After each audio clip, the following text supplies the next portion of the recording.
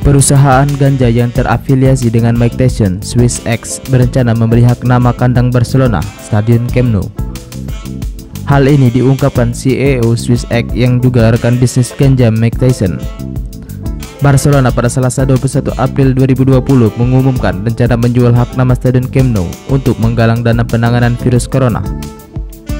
Dalam pernyataannya, Barcelona akan menyewakan nama Stadion Camp Nou selama musim 2020-2021. Sejak pengumuman itu, banyak perusahaan besar tertarik membeli hak nama Stadion Camp Nou, salah satunya adalah Swiss X. Swiss X adalah perusahaan yang menjual berbagai produk olahan ganja seperti cannabidiol, sebuah cairan medis yang bisa digunakan untuk mengatasi kecanduan opium. Legalisasi ganja untuk kesehatan sejalan dengan Barcelona yang bergerak di bidang olahraga.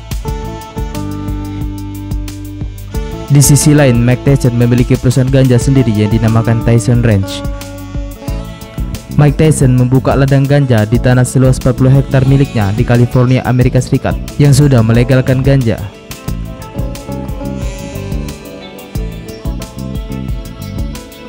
Perusahaan Mike Tyson itu berkembang pesat dan ditaksir memiliki keuntungan sebesar 500 ribu dolar Amerika Serikat atau setara 10 miliar per bulan.